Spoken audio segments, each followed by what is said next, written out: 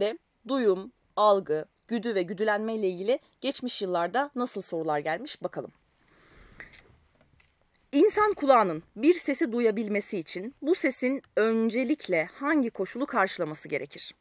Bireyin hoşlandığı bir ses olması bir kalsın. Aniden ortaya çıkan bir ses olması kalsın. Bireyin tanıdığı bir ses olması, farklı tonlara sahip seslerle birlikte olması, alt ve üst duyum eşikleri arasında olması. Şimdi eğer bu ses alt ve üst duyum eşikleri arasında değilse diğer hiçbir seçenek bizim istediğimiz cevabı vermeyecek. İstediği kadar bireyin hoşlandığı bir ses olsun. Eğer alt ve üst duyum eşikleri arasında değilse hiçbir şekilde biz bu sesi duyamayacağız. Dolayısıyla cevabımız Edirne olacak. Bir laboratuvar ortamında aynı yaştaki iki çocuğa birbirinden çok az farklı iki ses kulaklıktan dinletilmiş. Çocuklardan biri bu seslerin farklı olduğunu söylerken öteki aynı olduğunu belirtmiştir. Bu durum aşağıdakilerden hangisiyle açıklanabilir? Aslında kısmen bir paragraf sorusu. Bakalım birisi bu seslerin farklı olduğunu söylemiş, diğeri aynı olduğunu söylemiş ama bu iki çocuk aynı yaşta. Bir duyu organını uyaran çevresel uyarıcıların öteki duyu organlarını uyaranlardan farklı olmasıyla. Duyu organlarının duyarlılığının bireyden bireye farklılık göstermesiyle. Evet yakaladık burada. Diğerlerine bakalım. Bireyin ilgilerinin çok sayıda uyarıcılardan hangilerini algılayacağını etkilemesiyle çok sayıda uyarıcıdan bahsedilmiyor. Bireyin içinde bulunduğu ortamın algıda önemli rol oynamasıyla ortamla ilgili herhangi bir şey yok. Duyu mekanizmalarının doğumdan itibaren gelişmesiyle alakasız. Dolayısıyla cevabımız B olacak. Tamamen bir bilgi sorusu.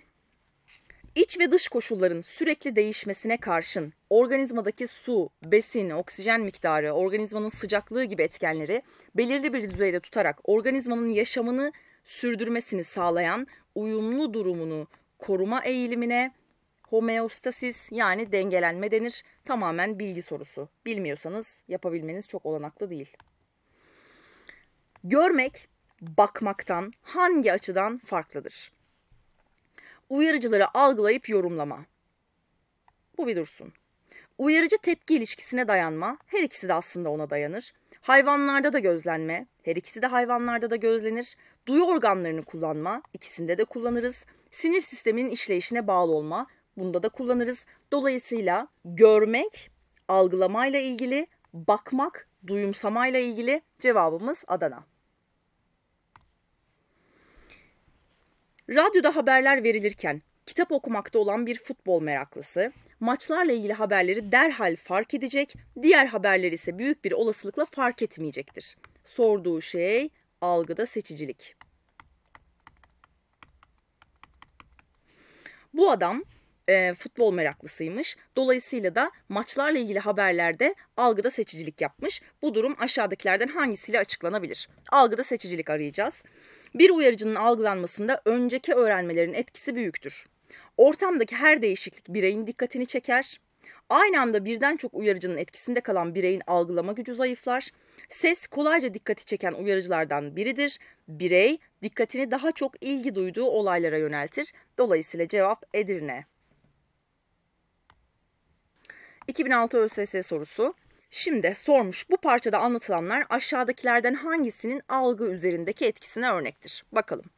İki arkadaş bir kentin kalabalık kaldırımlarında yürüyormuş. Ansızın bir tanesi olduğu yerde durup yanındakine duyuyor musun bir Ağustos böceği ötüyor demiş. Arkadaşı şaşkın, dikkatle çevreyi dinlemiş. Ben duymuyorum ama bu gürültülü trafikte zaten nasıl duyulabilir, imkansız değil mi diye sormuş.